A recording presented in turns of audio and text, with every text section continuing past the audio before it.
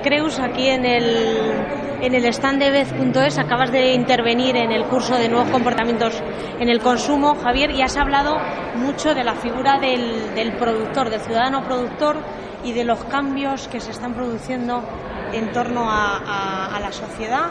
Hablas de que lo que se denomina como consumo colaborativo no es más que el, la punta del, iceberg de, de, algo más, ¿no? que es la transformación social que estamos viviendo.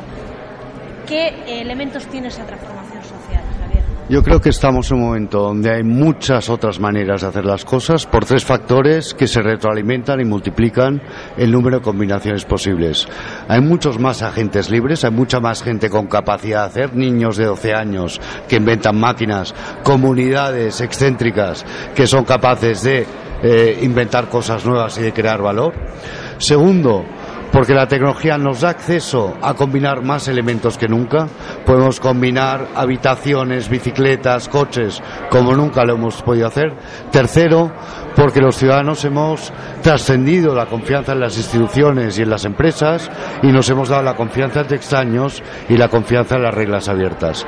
La combinación de estos tres elementos hace que lo que es posible hoy sea incomparablemente mayor y más diverso que lo que era posible hace 20 años.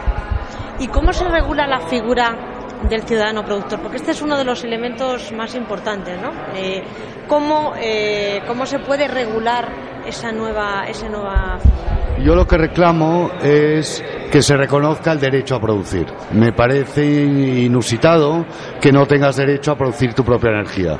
Me parece que no seamos capaces de ver que un ser humano educado y conectado y con intención es capaz de proporcionar bienes y servicios a un tercero y no siempre lo hace como profesional, que es lo que dicen los autónomos, ni siempre quiere ser empleado, ni siempre constituirse como empresa.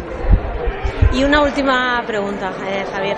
Eh, algunos hablan de que los modelos que se dicen ser de economía colaborativa eh, o de consumo colaborativo no son tal porque existe un beneficio, ¿no? un lucro.